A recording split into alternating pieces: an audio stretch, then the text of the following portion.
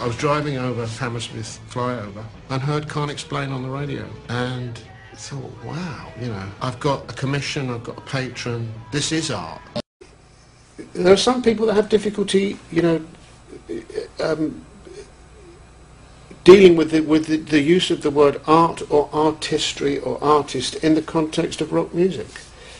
Uh, fuck 'em, you know. I mean, it's it's just fuck 'em, fuck 'em, fuck 'em, fuck 'em to death and hell and beyond.